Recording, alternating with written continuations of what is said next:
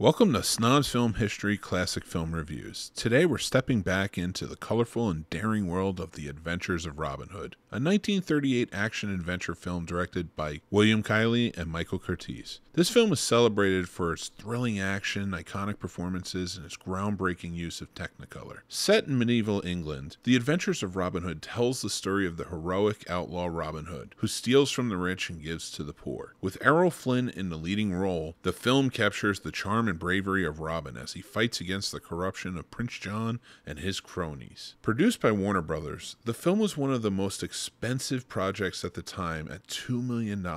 Utilizing lavish sets and hundreds of extras, the use of Technicolor was a technical marvel, making the film one of the most visually stunning of its era. Fun fact the production faced several challenges, including changes in directors and the cast's rigorous training for the spectacular fight scenes. Upon its release, The Adventures of Robin Robin Hood became an instant hit, enchanting audiences with its dynamic storytelling and visual flair. It won three Academy Awards, including Best Art Direction, Best Film Editing, and Best Original Score, securing its place as a cinematic classic. The legacy of the adventures of Robin Hood is immense, influencing countless adaptations and setting the standard for adventure films that followed. Its depiction of the charismatic rebel hero has become the definitive image of Robin Hood in popular culture. William Keighley and Michael Curtiz's The Adventures of Robin Robin Hood continues to inspire and thrill audiences with its timeless tale of justice and adventure. We love it here. It's one of our absolute favorites. We give it a 9 out of 10 easily. And if you haven't seen it, go check it out. And if you have seen it, go watch it again. It's a fun adventure tale and we love it. Thank you for joining us here on Snobs Film History Classic Film Reviews. Make sure to hit like, subscribe, and hit that bell so when you know more episodes of this and other great shows come out as well on the Scene Snobs channel. Thanks again, and we'll talk to you soon. Take care.